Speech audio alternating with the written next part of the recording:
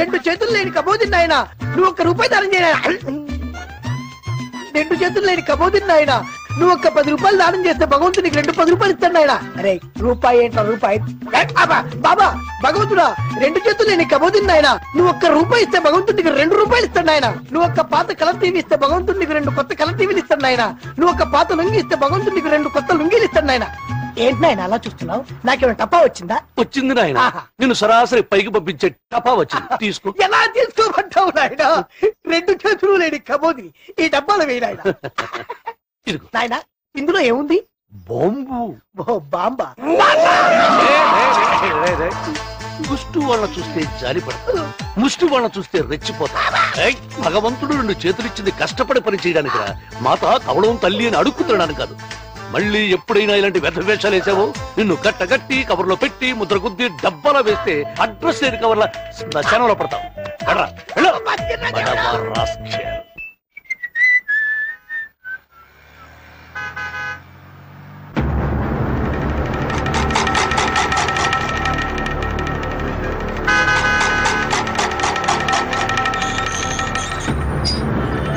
సోదరా ఆ ఇల్లు ఎవరిది? నానాజీ అని మర్డర్లు చేస్తుంటాడు. అయినా మనకెందుకు? ఏమైనా విషయం ఉందా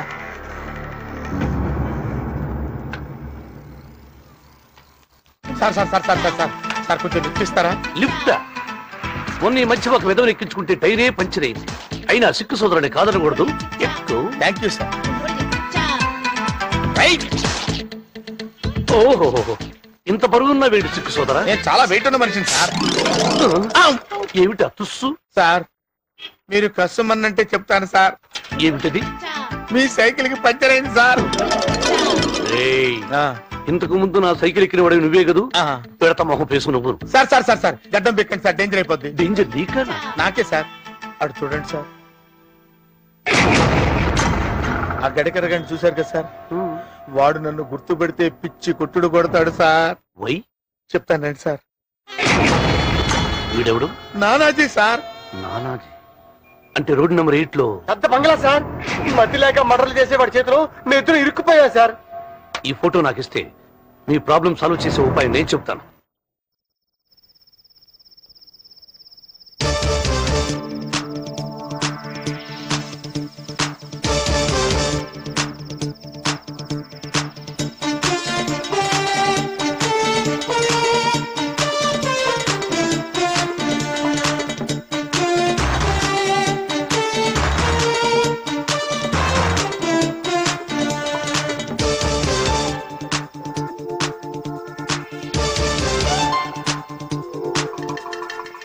ఒరే ఇన్నాళ్ళు మాకు నిద్ర లేకుండా చేసి ఎంత హాయిగా నిద్రపోతున్నావురా నువ్వు?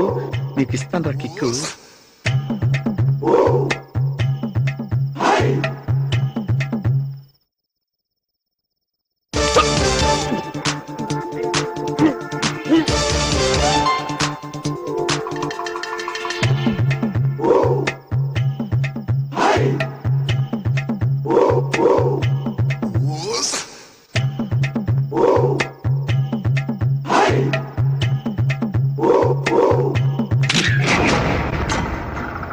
ఏంట్రా రైటు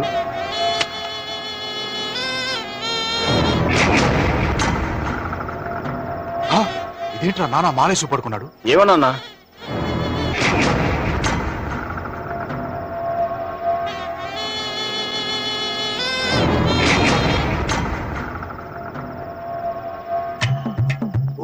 వాళ్ళు వెళ్ళిపోయారులే మనం వెళ్దాం? నా మాట విని సేవ్ సైడ్కి ఇంకో ఫోటో తీసుకోండి. ఇలా ఫోజులు ఇచ్చి అడుక్కులో గడ్డపేసుకున్నారు తీయండి. ఓకే ఓకే ఓకే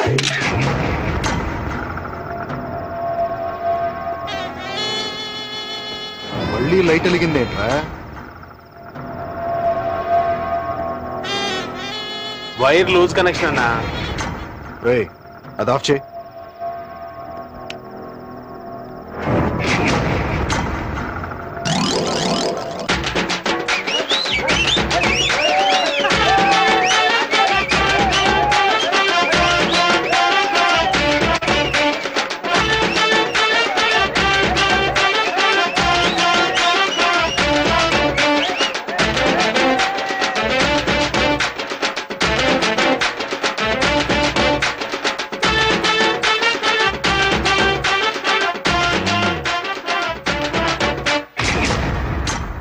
శబాష్ చాలా బాగా తీసావయ్యా ఫోటో.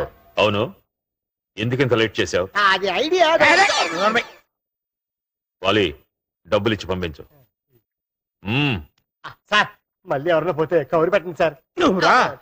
కబురు పెడతారు. పెడతారు కదా. పెడతారు. మ్మ్. ఆగండి. లగెత్తుదామా ఏంటి ఎత్తేది కాంపౌండ్ దాట ముందే కాల్చి చంపేస్తారా? పద. మా నాన్న జుట్టు తెల్లగా కదా ఉండాలి. నల్లగా ఉందేంటి అందుకే సార్ ఫోటో తీసుకురావడం లేట్ అయింది. నెగిటివ్ని సింగపూర్ తీసుకెళ్ళి ఆ. వైట్ హెయిర్ని బ్లాక్ హెయిర్ తీసుకెళ్ళి సార్. నువ్వెవడో పెద్ద ఆయన చుట్టూ నలుపు చేయడానికి. ఆ? సార్ వద్దు. ఆగు. వాళ్ళు చెప్పింది నాకు నచ్చింది. మా నాన్న ఇలాగే అందంగా కనిపించాలి. వాళ్ళకి ఇంకో కట్టించి పంపించు.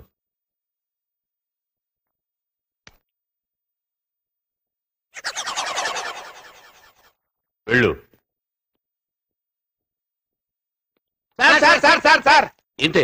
మీరు ఈ వీధిలోకి ఎప్పుడు వస్తారని వెయ్యి కళ్ళతో చూస్తున్నాం sir. Any problem no problem. మీరు మా పక్కనుంటే మాకు ప్రాబ్లం ఏంటి సార్? నానాజీ ప్రాబ్లం సాల్వ్ అయిందా? చాలు అయిపోయింది సార్. మీరు కనిపిస్తే థ్యాంక్స్ చెప్తామని. దాని దేవుంది రేత ఇప్పుడే వస్తాను ఇదేంట్రా? మ్యాటర్ చెప్పకుండా వెళ్ళిపోతున్నాడు. మనకెందుకంటే కడుక్కున్నారండి ఫోటోలు. పద. హలో అర్చన గారు. బాగున్నారా? మీరా? అవును. హాస్పిటల్ నుంచి వస్తున్నారు. ఎవరికైనా ఒంట్లో బాలేదా? ఆటో అర్చన గారు. అర్చన గారు. ఎవరో తరుగుతున్నట్టు అలా పారిపోయింది ఏమిటి అందుకే అన్నారు పెద్దలు. సముద్రం లోతు తెలుస్తుంది గాని ఆడదాని గుండె లోతు కొలవటానికి సాధనమే లేదని.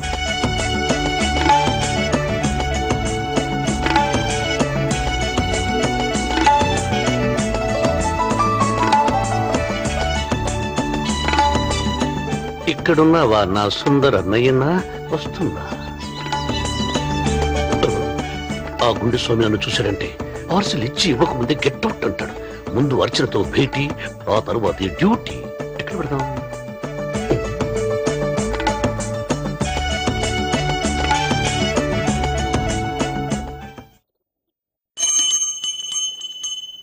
బాగున్నారా? నేను బాగానే ఉన్నాను. మీరు చేస్తున్న పనే బాగులేదు. నిన్న మీకు సమాధానం చెప్పకుండా వచ్చేయడమా? కాదు. భగవంతుడు నాకు ప్రత్యక్షమై నీకు కోటి రూపాయలు కావాలా? ఆడపిల్ల మొహంలో చిరునవ్వు కావాలా అంటే నేను మీలాంటి వారి చిరునవ్వే కోరుకుంటాను. ఆంధ్ర రాష్ట్రం బాగుపడాలంటే వర్షాలు పడితే లాభం లేదండి. ఆడపడుచులు నవ్వుతూ ఉండాలి. డైలీ. చందమామ చల్లగా ఉంటాడు కదా అని. ఇరవై నాలుగు గంటలు చందమామే ఉండాలని కోరుకోవడం ధర్మం కాదు కదా. అందుచేత ఎప్పుడు చిరునవ్వు నవ్వాలంటే ఎలా? సర్లేండి. నేను చేసిన పనేదో నచ్చలేదన్నారు. ఏంటది? సూదితో అలా పులు గుచ్చటం ఇది అందరాడు పిల్లలు చేసే పనే కదా. నిజమే. అలా సూదితో గుచ్చుతుంటే పూలు గోల చేస్తాయట. ఏమనో తెలుసా?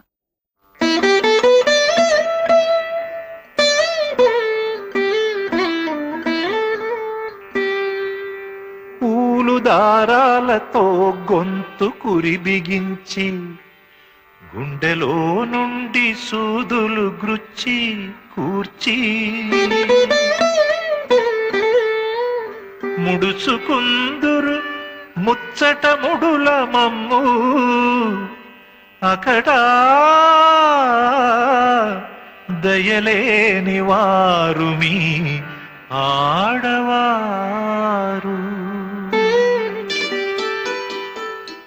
పాపం పువ్వులంత బాధపడిపోతాయా అండి అయితే ఈ రోజు నుంచి పువ్వుల్ని సూదితో గుచ్చను దారంతోనే దండ కట్టుకుంటాను. అలాగే ఒక ప్రశ్న అడుగుతాను సమాధానం చెబుతారా? ఏంటది? మీకొచ్చిన పార్సల్స్ గుండెస్వామి నానాజీ ఇంటికి ఎందుకు తీసుకెళ్తున్నాడు?